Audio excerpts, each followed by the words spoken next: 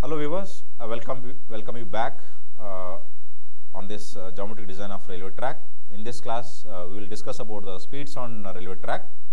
I am Ashok Kumar, Assistant Professor, Department of Civil Engineering, Walchand Institute of Technology, Solapur. The learning outcome of the today's session, the students will be able to calculate the speeds with respect to the given cant or computed cant or the super elevation. So in the previous session, we have seen what are the different types of the speeds we have. One is the the weighted average speed or uh, the equilibrium speed. And second one is the maximum sanction speed. Then the maximum permissible speed which we are allowing on the uh, the particular track. So con- continuation of that we will try to see how this safe speed is calculated for a given conditions. This is how we have uh, uh, the calculated the uh, the safe speed using the the railway board formula. So here considering the your uh, the cant uh, actual cant and cant deficiency, we have calculated the what is the the permissible speed or maximum permissible speed on the particular curve. This is for the transition curves we have discussed. Now for the on meter gauge, uh, we have v equal to 0.347 square root of Ca plus Cd into R and for the narrow gauge it is v equal to 3.65 square root of r minus 6 and this subjected to maximum of 50 kmph. And for the non-transition curves, uh, we have discussed this also in the previous session, how we are going to calculate the uh, the length of uh, the, your uh, maximum permissible speed on the basis of the your transition curves. So this is applies when we have the restrictions of transition curve to be provided in the the site due to the site constraint or the land availability. We are restricting the uh, the uh, length of transition curve. We always prefer to provide more length of transition curve due to the easement of the curve due to site constraint if there is any restrictions in the the site we are unable to provide non-transition curves then we have to calculate the safe speed the procedure given in this the slide now also we have seen we are calculating the four different uh, speed limits uh, basis on the sanction speed basis on the uh, the availability of uh, cant uh, actual cant and cant deficiency. The first way we are the we are taking the what is the sanction speed given for that particular uh, track. This is the first speed we are taking. This is uh, uh, given by the track engineer or chief engineer of that particular track. And second one considering the actual cant uh, the what is the equilibrium superelevation provided we are going to calculate that. And again the cant deficiency cd is added to the equilibrium superelevation and adding ca and cd we are calculating what is the maximum speed allowed on the particular track.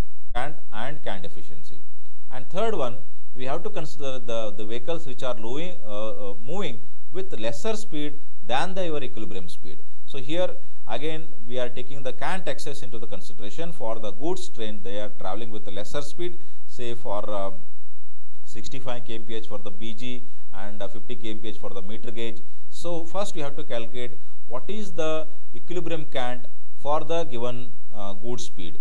Then we are going to uh, uh, see that what is the cant excess is added uh, uh, to this the CA and for adding this cant excess and the actual cant we are calculating the what is the maximum speed we are uh, provided we can provide it considering the goods vehicles also into the consideration or the vehicles which are moving lower speeds also consider while defining the what is the permissible speed. So now the the last one the speed corresponding to the length of transition curves. So uh, calculate the the speed considering these four factors and take the least of that value will be your safe permissible speed. Now to understand this we will take one example and try to see how to calculate the safe speed for the given conditions. Now before we go for the numerical, uh, you can pause over here and think for the moment maximum permissible speed or safe speed is more than the sanction speed. So think for a moment and uh, give me the answer whether it is a true or false. I hope you are uh, able to give me the answer.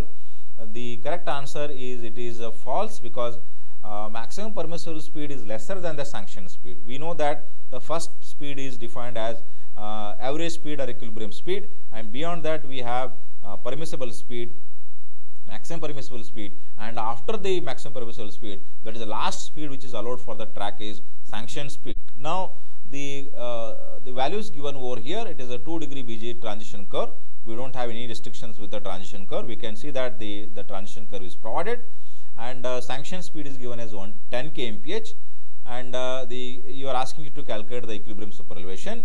Uh, the speed for uh, calculating the equilibrium superelevation is also given as 80 kmph and for the goods train uh, the speed is also given as 50 kmph.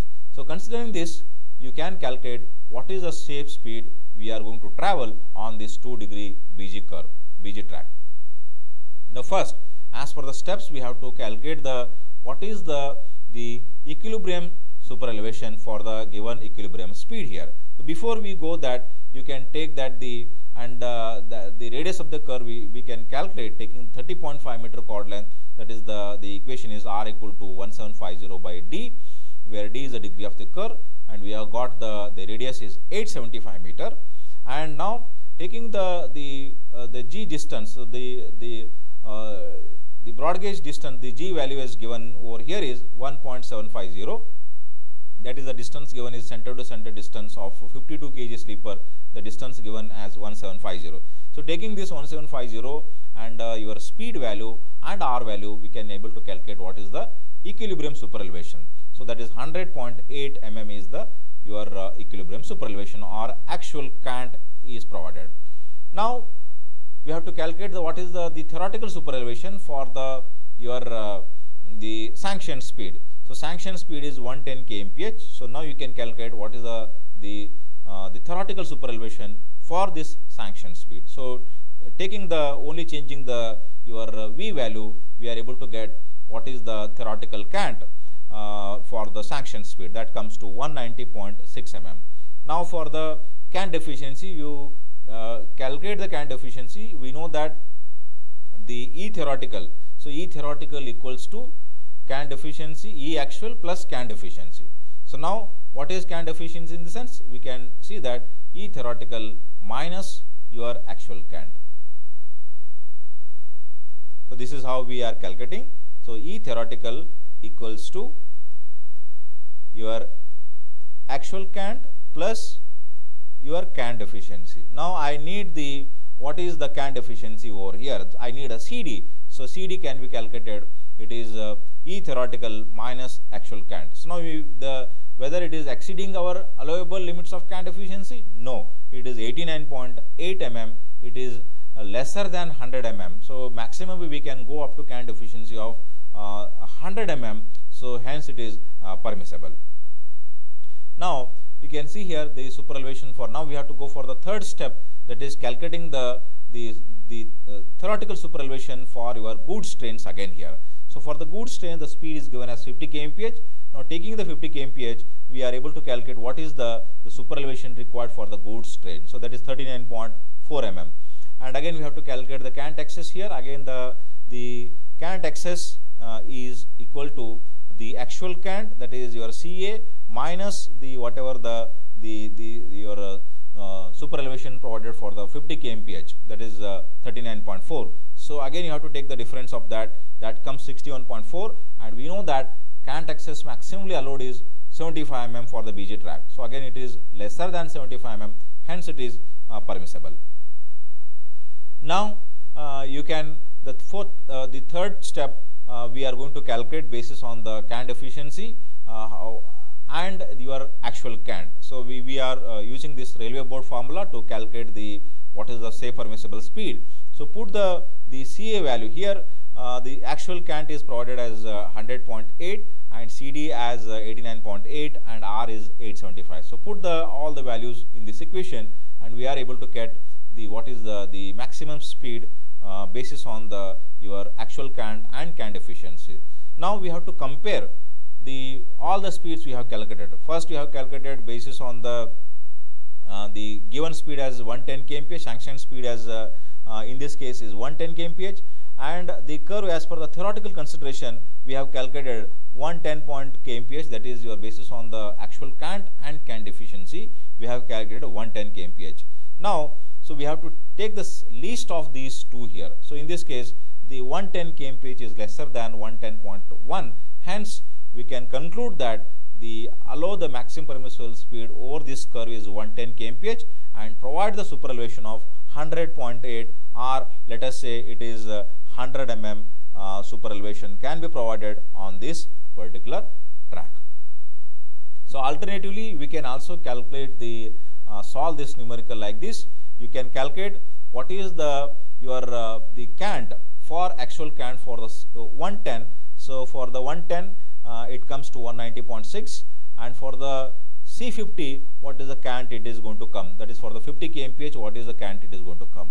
Now on adding the cant, uh, uh, the both the CA plus CE, that comes to 114.4 mm. Now for the calculate the for equilibrium speed, what is the cant required for the equilibrium speed? That is C80. For that, it comes to 100.8. Now we have to see the lowest of these all these three. In this case, the lowest of three values calculated above steps is 100.8 mm.